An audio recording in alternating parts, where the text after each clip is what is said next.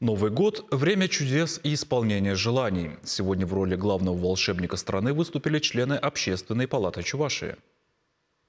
Одно желание на двоих. Софье всего 8 лет, Полина постарше, но у девочек общий интерес – узнать и посмотреть, как работают спасатели. Вместе со своими семьями и друзьями они приехали в Республиканскую поисково-спасательную службу. Рады вас встретить на нашей службе. Экскурсия началась с диспетчерской. Именно сюда, на пост дежурного, поступают звонки. В его задачи входит прием информации, подтверждение этой информации и передача спасательному подразделению. Автопарк у спасателей большой. Здесь и автомобили для экстренных выездов по городу, и вездеходы для труднопроходимых мест, и полностью снаряженный грузовик. Автомобиль уникален. Он не только оснащен поисково-спасательным оборудованием, но и спальными местами.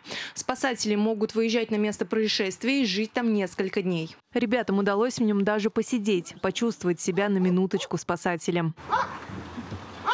Какой же праздник без Деда Мороза? Пока главный волшебник страны спешил навстречу, дети покатались на колесе обозрения.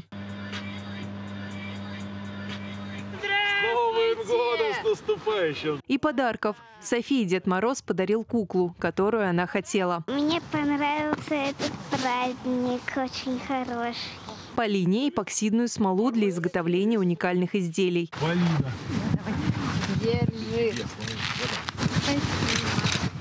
Много-много счастья тебе в наступающем году. Малышке плюшевую игрушку, друзьям девочек мешок конфет. Очень приятно действительно де- дать детям вот то самое новогоднее настроение, тот подарок, и даже сами эмоции, которые они получили.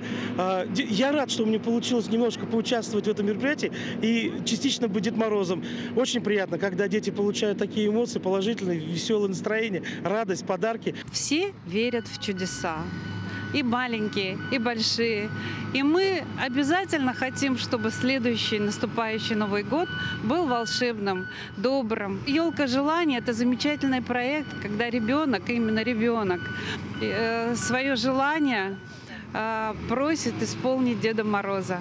Ну а мы, конечно, постараемся, чтобы наши дети жили счастливо, чтобы у них было счастливое детство, и чтобы они всегда верили в чудеса. Новым годом! С Новым годом! Ура! Екатерина Данилова, Дмитрий Макаров, Вести Чувашия.